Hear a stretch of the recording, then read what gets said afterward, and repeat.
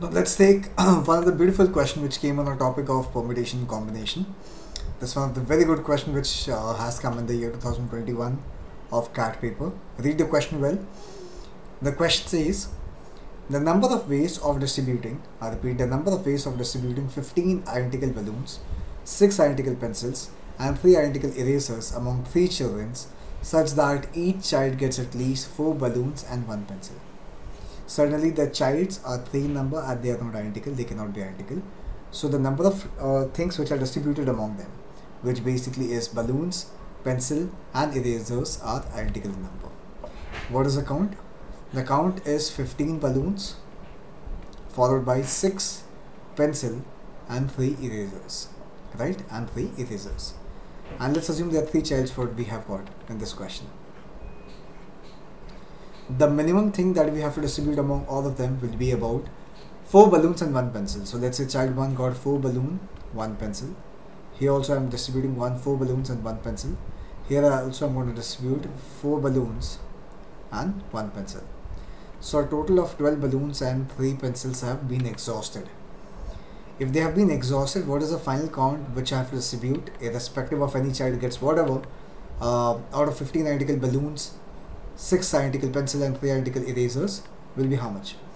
So 15 minus 12 will become 3. So I'm left with 3 balloons, 3 pencils and 3 erasers. Now this is something which I will distribute to 3 of the children irrespective of anything. Right? It can be the case that some of them or one of them may get 0 out of any of the 3 or at least 2 or one of them. Clear? Now let's try to distribute the first element. You can choose any one of it uh, we can choose the balloon we can choose the pencil we can choose the eraser. Okay because all of them are exactly three number.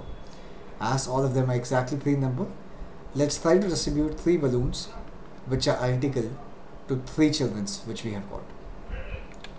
Okay.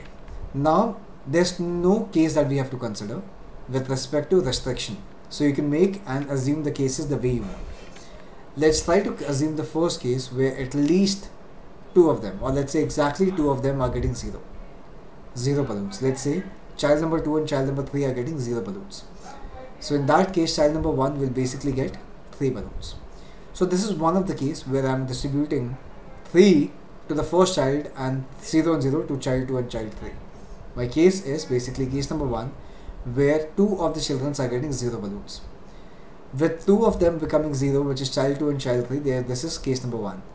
Now 3 can come here also and 3 can come here also. So how many such cases will be possible? For case number 1, there will be exactly 3 ways of distributing 3 balloons to 3 children where 2 of them are getting exactly 0. Similarly, you can try to make case number 2. In case number 2, I am let me make one of them to be a 0 and two of them will get something.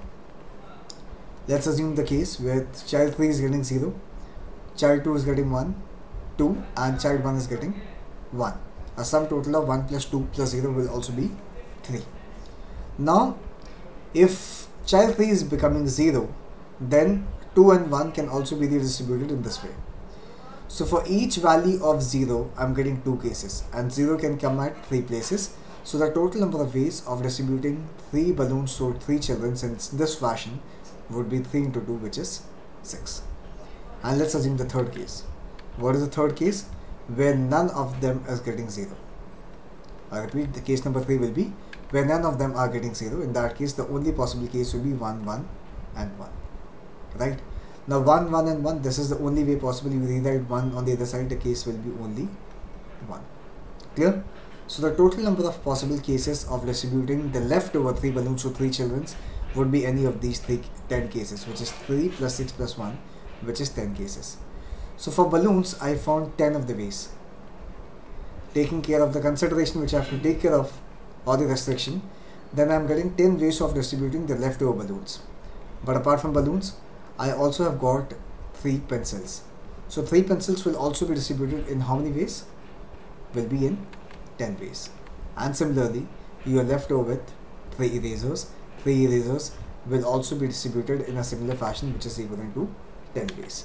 So the total number of ways of distributing 3 balloons left over, 3 pencils left over and 3 erasers left over would be 10 into 10 into 10 which is basically 1000 ways and the answer for the given question would be as simple as 1000 ways or 1000 cases possible